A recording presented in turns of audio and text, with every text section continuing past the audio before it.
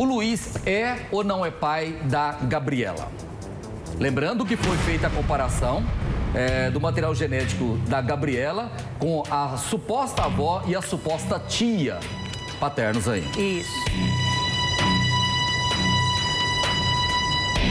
De acordo com a análise de 32 losses autossômicos e 12 losses do cromossomo X, conclui-se que o suposto pai ausente, Luiz Florencio de Oliveira, não pode ser considerado o pai biológico da filha investigante Gabriela Xavier de Oliveira.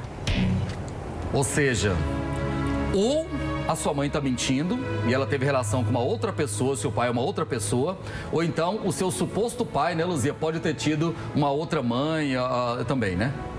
É, é o que eu falei, nós dependemos da correta informação, uhum. que são vocês que vão, que nos trazem, né? Então, nesse caso aí, ou a sua mãe teve relação com uma outra pessoa e ela está mentindo para você, uhum. né?